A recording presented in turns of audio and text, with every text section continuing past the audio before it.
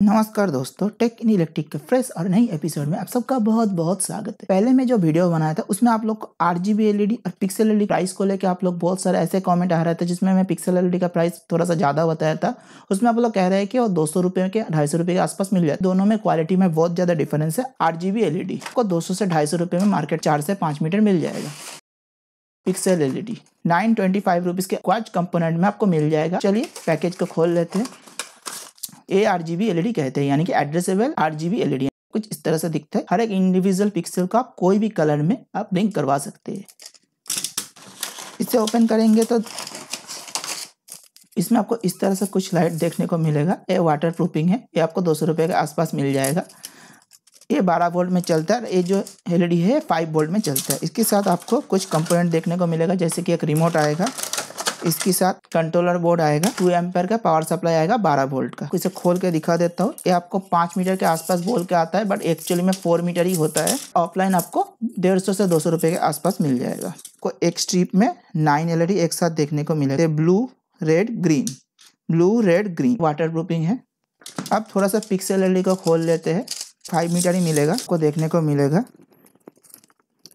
इस पर आपको जैक देख लगा हुआ है, देखने को मिलेगा यहाँ पर अगर आप देखेंगे तो टोटल फाइव वायर जो है निकला हुआ है। यहाँ पर रेड कलर जो है फाइव वोल्ट पावर सप्लाई है ग्राउंड है। और बीच में आपको एक ग्रीन कलर का वायर देखने को मिलेगा। एक कंट्रोल पिन हो, पीछे भी आपको एक टेप देखने को मिलता है। और इसके अंदर भी आपको टेप देखने को मिलता है चिपकाने के लिए। पावर कनेक्ट करने के लिए डायरेक्ट अगर आप फाइव वोल्ट सप्लाई से चलाएँगे तो ये चलने वाला नहीं है। इसके लिए अलग से आपको एक कंट्रोलर खरीदना होगा। कंट्रोलर आप कोई भी वाईफाई रिलेटेड कंट्रोलर है वाईफाई आर्ट नेट के नाम से।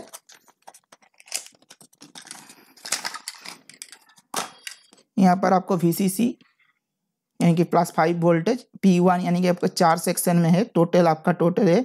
एक एक जो पी वन है, ये आपका thousand twenty four L control कर सकते हैं। इस तरह से आपको टोटल फोर थाउज़ेंड एल इससे कंट्रोल हो सकता है। एक ग्राउंड पिन है। यहाँ पर आपको वीसीसी देखने को मिलेगा, पर ग्राउंड आपको देना पड़ेगा। या तो आप एडोप्टर से भी पावर सप्लाई दे सकते हैं। रेड को वी यानी कि फाइव वोल्ट से पावर सप्लाई करेंगे। आप तो चाहे तो यहाँ पर भी दे सकते हैं, यहाँ पर नहीं देंगे तो भी चलेगा, कोई प्रॉब्लम नहीं है। देखिए, यहाँ पर मैं कनेक्शन कर चुका हूँ। यहाँ पर प्लस वी यानी कि रेड कलर को मैं कनेक्ट किया हूँ। यहाँ पर जो है, मैं यहाँ से कंट्रोलर पिन लूँगा। और जो यहाँ पर व्हाइट कलर है, इसे हम लोग ग्राउंड पे कनेक्ट करेंगे। यहाँ पर आपको V C C and ground connect करना पड़ेगा। वी है, और जो ग्राउंड है, यहाँ पर हम लोग कनेक्शन कर लेते हैं। ग्रीन कलर का एलईडी जो है कनेक्ट हो गया है, यानी कि इसमें पावर आ रहा है। तो चलिए, अभी हम लोग पिक्सल को कनेक्ट करते देखते हैं।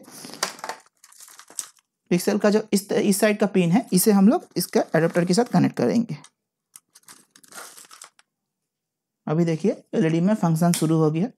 आप लोग देख सकते हैं। अब किसी भी तरह से इसमें प्रोग्रामिंग कर सकते हैं।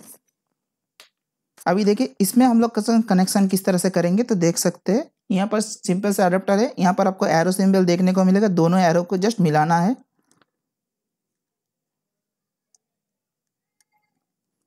दोनों आना को जो मिलाना है, बस ये जो कनेक्शन है, वो रेडी हो चुका है। और रिमोट कंट्रोल के अंदर आपको यहाँ पर एक इस टाइप का ये देखने को मिलेगा। इसे अगर आप हटा देंगे तो रिमोट काम करने लगेगा। अभी मैं यहाँ पर 12 वोल्ट का पावर सप्लाई अडोप्टर से दे रहा हूँ। देखिए एलईडी जो है, चलने लगा। अब दोनों में डिफरेंस देख सकते हैं। हर एक लाइट में देखिए आर जी एंड बी इस तरह से काम कर रहे हैं। आप लोग देख सकते हैं। दोनों का अगर मैं कंपेयर करूँ तो देख ले, देख सकते दोनों का ब्राइटनेस में बहुत ज़्यादा अंतर है। मेरे पास अभी रिमोट है ऑफ़ हो गया, फ़िलहाल ऑन हो गया। देखिए अभी कोई भी कलर में रेड ग्रीन ब्लू ये तो डिफरेंस डिफरेंस कलर में यहाँ से कर सकता हूँ। ये वाइट है, जो समझ में नहीं आ रहा आप लोग को। यहाँ पर चार मोड दिया गया है, ये फ्लैश मोड है, ये स्टोव मोड है, इन दोनों में आप लोग को डिफरेंस पता चल गया है। इसे डायरेक्ट भी चला सकते हो। इसके लिए मेरे पास 12 वोल्ट का पावर सप्लाई है। यहाँ पर जो ब्लैक कलर है, इसमें मेरे को वी वाला पिन देना पड़ेगा, यानी कि प्लस बारह वोल्ट। और जो ग्राउंड है, इसको कोई भी पिन में कनेक्ट करेंगे तो देखिए, ये ब्लू है। बीच वाला अगर पिन में कनेक्ट करूँ तो देखिए रेड है। और इस साइड पर आपको ग्रीन है। चाहे तो आप इस तरह से भी जला सकते हैं। इसके लिए कंट्रोलर का ज़रूरत नहीं पड़ता। अगर आपको इसको डायरेक्ट जलाना है, इस केस में आप इसे डायरेक्ट नहीं जला सकते। अगर आप डायरेक्ट कनेक्ट भी करेंगे तो काम नहीं करेगा। आपको दिखा रहा हूँ। यहाँ पर जो है वी है, इसे हम लोग कनेक्ट कर रहे हैं। देखिए, एक दो एलईडी सिर्फ़ काम करेगा। आपको मैं लाइट ऑफ़ करके दिखाता हूँ। काम नहीं करेगा, बिल्कुल भी।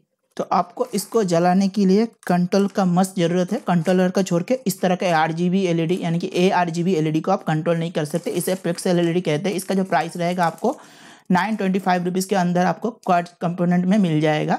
अमेजोन लेंगे तो आपको थाउज़ेंड रुपीज़ से ऊपर ही गिरेगा। ये दो सौ से ढाई सौ रुपये के अंदर आपको बहुत इजीली मिल जाएगा। चार मीटर के आसपास इसका लेंथ जो रहता है, अरे पाँच मीटर में रहता है। इसमें आपको टोटल थ्री हंड्रेड एलईडी देखने को मिलेगा, यानी कि मीटर में सिक्सटी एलईडी आता है। चाहे तो इससे ज़्यादा भी आप ले सकते हैं। वो भी मार्केट में आता है वाटर प्रूफ के साथ भी आता है बट ये वाटर प्रूफ नहीं है। इसमें आपको एस एम डी एल लगा हुआ है और इसमें नॉर्मल सा एलईडी है, जो बहुत ही सस्ता क्वालिटी का होता है।